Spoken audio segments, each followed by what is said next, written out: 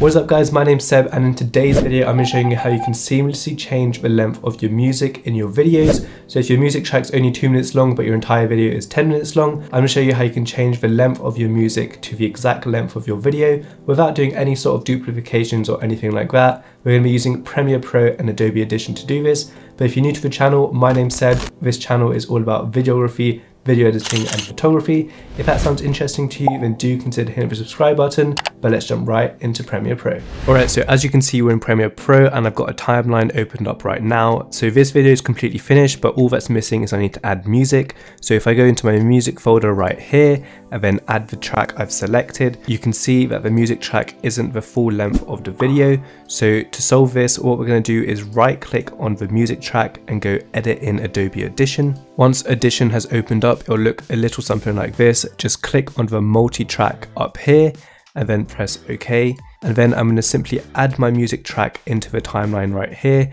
And then in your property section, you should have a remix section here. If you don't have that, just right click on your music track here go to remix and do enable remix. From here, you'll see that your clip is now analyzing, so let it do that. Once your clip has analyzed, you can go back to your remix section right here under properties and you can see target duration. So if we go back to Premiere Pro, we can see that the duration of my video is about 5 minutes and 50 seconds. So we're going to come to Adobe Audition and we're going to change it to 5 minutes and 50 seconds. But as you can see here, my remix duration is only 5 minutes and 34 seconds, even though I put 5 minutes and 50 seconds. To fix this, we're going to go to the advanced tab and do stretch to exact duration.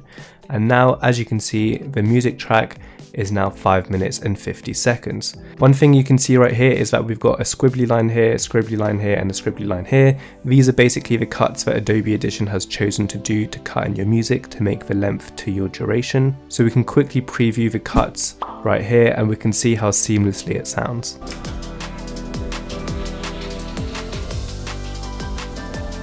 Yeah, the cuts are pretty seamless. So from here, what we're going to do is right click on our track, go to export mixdown and go entire session, then choose your location, name your file, and then we're going to add it into Premiere Pro.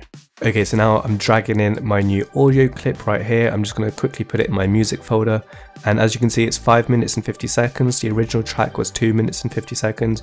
We're going to drag that into our timeline right here. Just replace that right there. But as you can see, the music finishes exactly where my video finishes, so it's done a pretty good job. So there you go guys, I hope you enjoyed this quick Premiere Pro tutorial on how you can seamlessly change the duration of your audio for your video. If you did find it helpful, then do leave a like and subscribe if you haven't already. If you have any other video recommendations, then do let me know in the comments down below. Thanks for watching and I'll see you in the next video.